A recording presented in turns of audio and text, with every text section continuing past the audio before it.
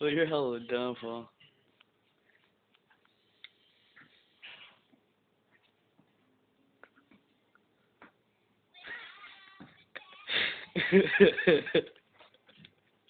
I hope my dad comes out and watches you do this.